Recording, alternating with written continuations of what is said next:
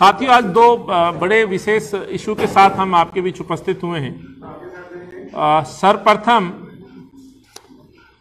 तो कांग्रेस परिवार के लिए एक खुशी की बात है कि दिल्ली छावनी से हमारे एक निर्वाचित कांग्रेस के पुराने साथी, हालाँकि 2015 में आम आदमी पार्टी के सिंबल से चुनाव लड़े और पार्षद चुन करके आए। पिछले चुनाव में हमारे कांग्रेस के विधायक के प्रत्याशी रहे भाई संदीप जी के विधानसभा क्षेत्र के अंतर्गत इस छावनी से हमारे तीन साथी निर्वाचित हैं। हमारे कांग्रेस के वरिष्ठ नेता छावनी से आदरणीय विमल चौधरी जी भी मंच पर उपस्थित हैं। हमारे कई पूर्व विधायक साथी आदरणीय जयकिशन जी, उपाध्यक्ष अली अहमद जी, अमरीश गौतम जी, ये भी हमारे बीच उपस्थित हैं। ये मुझे बताते हुए हर्ष हो रहा है कि श्री नंद किशोर बेनीवाल जी आज दिल्ली प्रदेश कांग्रेस कमेटी में आदरणीय राहुल जी और सोनिया जी में अपनी आस्था जताते हुए इस कांग्रेस परिवार के साथ जुड़ रहे हैं। तो पहली ये सूचना मैं तमाम साथियों को देना चाहता हूँ और इनका मैं अभिनंदन करता हूँ, स्वागत करता हूँ। और इनके साथ मैं भाई संदीप जी का, विमल जी का भी आभार व्यक्त करता हूँ। और मैं इनको कांग्रेस का जो सिंबल है इस सिंबल के द्वारा अपने इस परिवार में शामिल करता हूँ।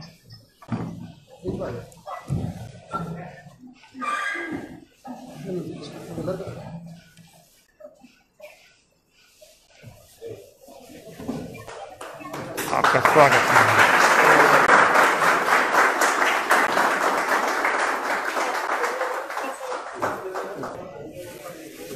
चलिए।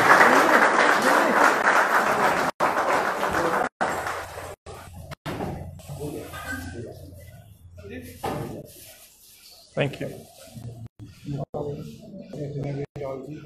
जोरदार तालियाँ करें भाई।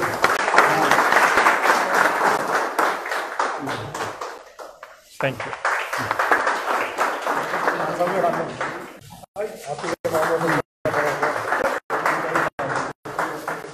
तो दे। विमल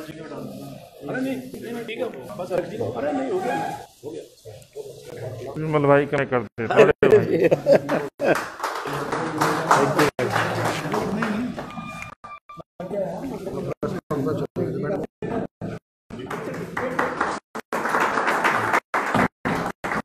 साथियों मैं उम्मीद करता हूँ कि भाई हमारे नौजवान किशोर बेनीवाल जी कांग्रेस परिवार से जुड़ते हुए कांग्रेस नीतियों को कांग्रेस को घर तक प्रचार प्रसार के लिए अपना सहयोग पान करेंगे मैं इस पर दूसरे विषय पे आऊँ, जो एक बड़ा गंभीर विषय है। बेनीवाल जी को बुलवाने से पहले मैं वो विषय तमाम दिल्ली वासियों के सामने आपके द्वारा रखना चाहता हूँ। साथियों, ये विषय उन गरीब परिवारों से जुड़ा हुआ विषय है, जो लगभग 40-50 सालों से ईस्ट लक्ष्मी मार्केट में अपना आसिया बना करके रहते थे।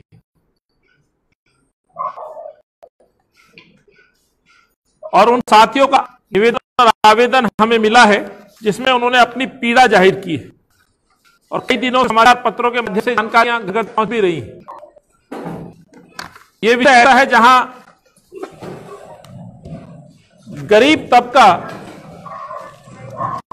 वहाँ रहते हुए तमाम उन जरूरतों को, आसपास के लोगों की सेवा को, जहाँ प्रतिदिन इनकी सेवा की आवश्यकताएँ वहाँ के आसपास के लोगों को भी करती रही और उनकी सेवा पिछले 40-45 सालों से वहाँ कर रहे हैं। कहने का जो तात्पर्य है साथियों, इस लक्ष्मी मार्केट में जो लगभग 60 परिवार वहाँ रहा करते थे पिछले 40-45 वर्षों से उन परिवारों पे यकायक एक दिन ईस्ट एमडी के आदेश अनुसार वहाँ पर उनके मकानों को ध्वस्त कर दिया जाता है। यानी कि वहाँ पर ईस्ट एमसीडी अपने बुलडोजर जेसीबी के द्वारा पहुँच जाती है और बगैर कोई चेतावनी और बगैर कोई कार्रवाई के नोटिस के उन लोगों के मकान तोड़ दिए जाते हैं। और बहुत ही बर्बतापूर्ण वहाँ पर जो परिवार हैं और जो उनके वहाँ रहने के जो साक्ष्य हैं, जो सबूत हैं, साथियों, लगभग 1982 से पहले तक के भी सबूत वहाँ इन लोगों के पास हैं। लेकिन अफसोस, दोनों ही सरकारें, चाहे केंद्र की सरकार हो या दिल्ली की सरकार हो, जो आम आदमी की सरकार कहा करती थी अपने आप को आज इनके दुख दर्द को समझने के लिए सरकार तैयार नहीं। मुझे याद आ जाता है क्योंकि कुछ ही महीनों पहले दिल्ली विधानसभा का चुनाव समाप्त हुआ था और दोनों ही पार्टी के नेताओं ने और दोनों ही पार्टियों के मैनिफेस्टो में इस बात को बड़े दावे के साथ कहा गया था कि दिल्ली के अंदर किसी का मकान ना तोड़ा जाएगा, ना कोई यदि इस तरह का स्लम है, कोई क्लस्टर है, उसको दिल्ली से उजाड़ा जाएगा।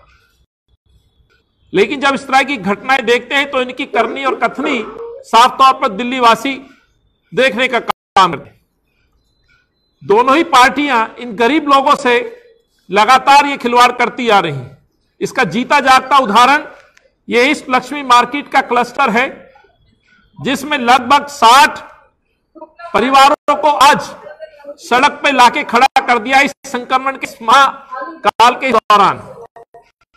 जहाँ पे सरकारें कहते हैं कि अपने घर में रहिए, बाहर मत निकलिए, वहाँ पर तरह से परिवारों पर, उनके सपनों पर, उनकी जो आसियान है, उनको ध्वस्त कर दिया जाता है। इसे दोबारा ऑप्शन नहीं हो सकता इसमें। जहाँ सरकारों की जवाबदेही बनती है, वह सरकार ये कहती है कि ये कोर्ट का आदेश है। मैं माफ़ी चाहता हूँ। यदि कोर्ट का आदेश है तो हम उस कोर्ट का आदेश का सम्मान करते हैं और देश का हर नागरिक कोर्ट का आदेश का सम्मान करता है। लेकिन जितनी जानकारी मुझे है, क्योंकि मैं दो बार पार्षद रहा, एमएलए रहा, दिल्ली प्रदेश कांग्रेस का अध्यक्ष भी हूँ, इस नाते ये मेरी नैतिक जिम्मेवारी बन जाती है कि कांग्रेस के द्वारा जो किए गए पूर्व में जो कार्य थे, जो निर्णय थे, शायद इन सरकारों को मालूम नहीं यही कारण है कि जब कांग्रेस की सरकार थी, याद होगा साथियों 2006 के अंदर, इसी दिल्ली के अंदर, कांग्रेस ने एक स्पेशल प्रोविज़न किया था, यानी कि दिल्ली लॉ एक्ट जो 2006 का है, उसमें डेमोलेशन के विरुद्ध एक हम अध्यादेश लेकर के आए थे, जिसको मंजूरी एक एक 2006 को। भारत की सरकार, जब कांग्रेस की सरकार केंद्र में थी और दिल्ली में कांग्रेस की सरकार थी तब ये अध्यादेश के द्वारा इस दिल्ली के लोगों को राहत दी थी। दिल्ली के मकानों पे जो सीलिंग और तोड़फोड़ की तलवार थी, उससे बचाने का काम कांग्रेस ने दिया था।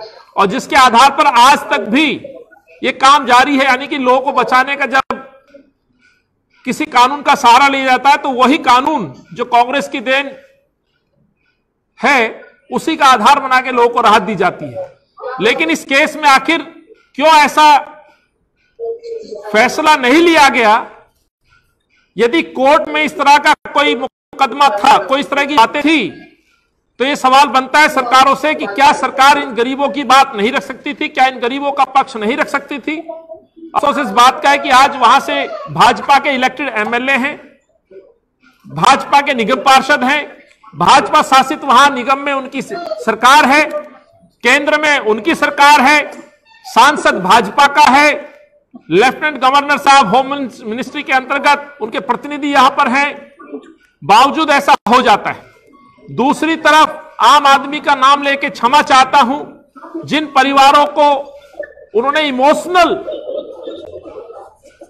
मैं फिर दोहराता हूँ, इमोशनल तरीके से लोगों का प्रयोग किया, इन गरीबों के साथ आम आदमी पार्टी का नाम देकर। आज केजरीवाल जी और उनकी पार्टी का भी चरित्र सामने आता है। वो लोग जाकर के इन गरीबों की बात नहीं सुनते हैं, गरीबों का पक्ष नहीं सुनते हैं। वो ये नहीं बताते हैं कि आपकी सरकार सो क्यों रही थी जो इनके साथ अन्याय हो रहा था। इतनी बड़ी तादाद में आम आदमी के विधायकों को चुनकर दिल्ली में भेजा था, उम्मीदों के साथ भेजा था। और यहाँ जो गरीब बस्ती है साथियों, उनके साथ जो व्यवहार हुआ, मैं समझता हूँ, ये मानवता के साथ एक तरह से बहुत बड़ा खिलवाड़ दोनों सरकारों ने किया है। इस संक्रमण में, इस महामारी के दौर में बच्चे आज फुटपाथ पे सोते हैं, खाना नहीं है, कहाँ जाएँ? इन तमाम बातों का जब हम जवाब ढूंढते हैं तो हमें नहीं दिखता है। साथियों 2017 के तहत इसी डिमोलेशन और सीलिंग के रोकने के लिए 31 दिसंबर 2020 तक रोक लगा दी गई थी। बावजूद उस पर एक्शन हो जाता है। इस संबंध में सरकार अभी तक कुछ भी बयान देने के लिए तैयार नहीं है कि ऐसा क्यों इन गरीबों के साथ हो गया। जहाँ तक सवाल है झुग्गी कैंप और क्लस्टरों को लेकर के तो मैं आपको और बताना चाहता हूँ कि मास्टर प्लान 2021 तक सरकार का यह दायित्व है कि झुग्गी में रहने वाले लोग यदि वहाँ से शिफ्ट किए जाएँगे तो उनका पुनर्वास करने की जिम्मेवारी भी सरकारों की है। और इसका जीता जागता उदाहरण मैं देना चाहता हूँ। मेरे विधानसभा क्षेत्र वर्तमान में जहाँ से उप मुख्यमंत्री जी हैं, NH twenty four national highway का अभी चौड़ाई का काम हुआ है, जिसके तहत नेहरू कैंप का कुछ हिस्सा उस सड़क में आ रहा था। और वहाँ से उस कैंप को हटाया गया तो उनका पुनर्वास द्वारका में किया गया। उनको प्लॉट दिए गए। पुनर्वास नीति के तहत दूसरा समसपुर के अंदर कुछ हिस्सा समसपुर गाँव का लिया तो वहाँ पे भी कुछ मुआवजा दिया गया। वैसे समसपुर का लेफ़्ट ऑफ़ पोर्शन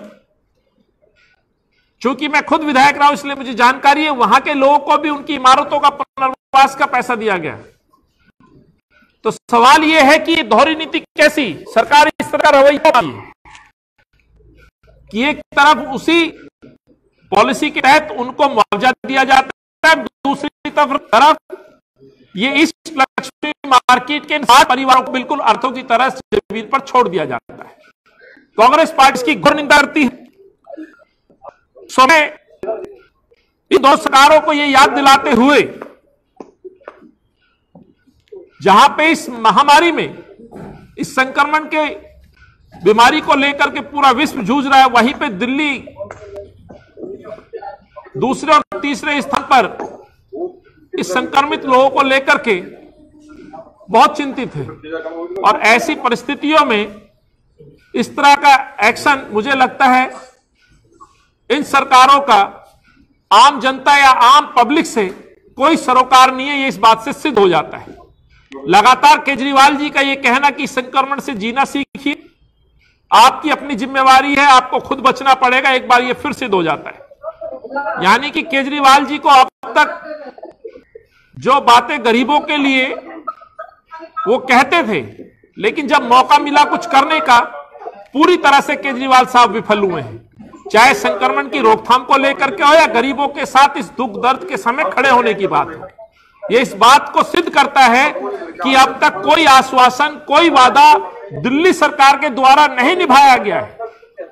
पंद्रह साल शीला जी की सरकार, कांग्रेस की सरकार रहते हुए शायद ही कोई ऐसी घटना रही होगी जहाँ आपदा के समय लोगों की मदद ना की गई चाहे यमुना के अंदर आया हुआ हर वर्ष पानी का बढ़ता हुआ जल स्तर हो, वहाँ किसानों की मदद की बात रही हो तो कांग्रेस ने मदद की। ये पहली मरतबा हुआ है कि देश में नहीं विश्व के अंदर ये मा, ये महामारी फैली हुई है। और जो डिजास्टर मैनेजमेंट एक्ट है उसके तहत भी सरकार चाहे तो इन गरीबों की मदद कर सकती है। लेकिन इन गरीबों की मदद की मंशा सरकार की साफ़ नहीं दिखती है ये हमारा आरोप है। इसीलिए हम ये सरकार से मांग करते हैं यदि कानून ने कोई आदेश दिया है, माननीय कोर्ट ने कोई आदेश दिया है तो सरकार की जिम्मेवारी बनती है कि गरीबों की रक्षा की जाए। यदि इनकी पैरवी करने में कोई चूक हुई है तो मैं समझता हूँ सरकार उन पुराने कानूनों को आधार बनाते हुए इन गरीब लोगों के जो मकान टूटे हैं, उनका मुआवजा दिया जाए और पुनर्वास नीति के तहत जो गरीबों के लिए नीति है, इनके जो साक्ष्य, जो डॉक्यूमेंट्स हैं उनकी जाँच करते हुए उनको मकान या जो फ्लैट की व्यवस्था है, वो इनको मुहैया कराई जाए। ये कांग्रेस पार्टी दोनों ही सरकारों से मांग करती है, दिल्ली के महामहिम उपराज्यपाल साहब, दिल्ली के मुख्यमंत्री से, कि इनको भी उसी दृष्टि से देखा जाना चाहिए, बल्कि ये लोग पिछले 40 साल से, लगभग 40 साल से वहाँ रहते हैं। और कानून ने तो 2007 के 2015 तक के ऐसी ऑर्डर सीलिंग पर रोक लगाई हुई है। यदि कहीं कोई पे इंक्रेसमेंट के तहत यदि सरकार मानती है कि वहाँ स्लम बन गया है या कोई अनऑथराइज कॉलोनी बन गई है तो जब उनको नहीं तोड़ा जा सकता तो इतने पुराने मकानों को कैसे सरकारें तोड़ सकती है? यह दुर्भाग्यपूर्ण है। इसीलिए इस मांग के साथ कि इनको तुरंत मुआवजा मिले, इनका पुनर्वास हो और प्रधानमंत्री आवास योजना के तहत जो भी पुनर्वास की जो योजना है, उसका लाभ इन साठ परिवारों को तुरंत मिलना चाहिए।